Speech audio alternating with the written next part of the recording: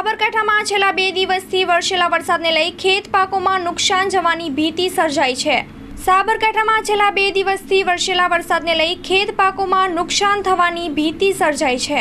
ખેડૂતોની મગફળીમાં વરસાદ કમોસમી વરસાદના લીધે ખેડૂતો પાયમાલ થઈ ગયા અને અત્યારે એવું વાતાવરણ થઈ ગયું છે કે ન પૂછો વાત, જમીનમાંથી મગફળી પણ કાઢી નાખી છે ખેડૂતોએ. અને હવે આ બધું ખેડૂતોનું એંસી એંસી નેવું દિવસ થયા પણ મગફળી પરિપક્વ થઈને પાકી ગઈ છે. નહોતા કાઢતા. તો જમીનની અંદર મગફળી રહી જતી હતી. અને અને બીજું શું કે કે ખેડૂતો બીજું શું કે આના ઉપર આધાર હતો. અને બિયારણ મોંઘું ખાતર મોંઘા. કરવું શું એમ?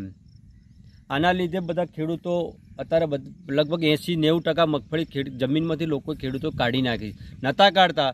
તો જમીનની અંદર રહી જતી હતી મગફળીઓ.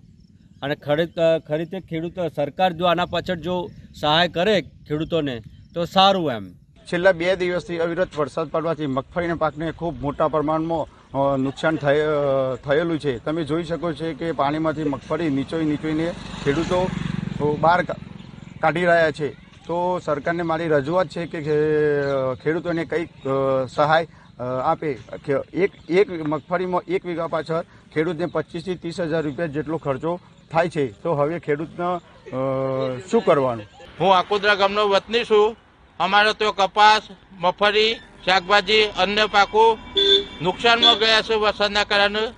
અને અમે પાક વેચવા જઈએ તો અમને ભાવ મળતા નથી. અને મગફળી તો હાવ ફેલ ગયેલ છે. એના માટે સરકારશ્રી કોક સહાય કરે. એવી અમારી વિનંતી છે. આ વરસાદના કારણે ગોટ્યો તરતો થઈ ગયો છે કપાસમાં સુકારો આવી ગયો છે.